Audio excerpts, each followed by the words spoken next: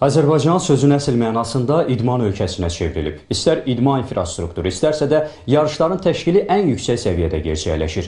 Bunu Rusiyanın idman naziri Pavel Kolobkov Azərbaycanın Gənclər və İdman naziri Azad Rəhimovla görüşdə deyib. Nazir Azad Rəhimov Azərbaycan və Rusiya hökumətləri arasında idman sahəsində əməkdaşlıq haqqında imzalanan sazişin uğurla həyata keçirildiyini, yeni idmançı nəslinin yetişməsində böyük rol oynadığını vurğulayıb. Rusiyalı nazir isə Soçidə imzalanan sazişin əhəmiyyətindən və ötən il ərzində əməkdaşlıq əməkdaşlıq sayəsində qazanılan uğurlardan söz açıb.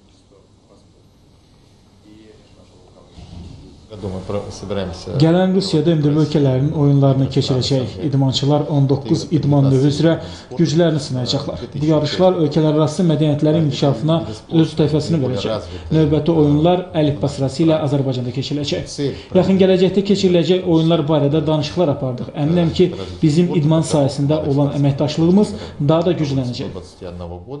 Bizim görüşlərimiz mütəmadi olaraq keçir. Son görüşümüz Krasnoyar şəhərində, şəhərində də ondan qa- qabaq Soçi şəhərində iki tə, nazirlik tə, tərəfindən sazişin imzalanması olubdur və bu günləri biz istəyirik ki, o həmin sazişin çərçivəsində konkret olaraq bir plan, yəni ki, hansı tədbirlər, hansı işlər, hansı istiqamətlərdə bu həmin sazişin əsasında biz növbəti addımları atacağıq.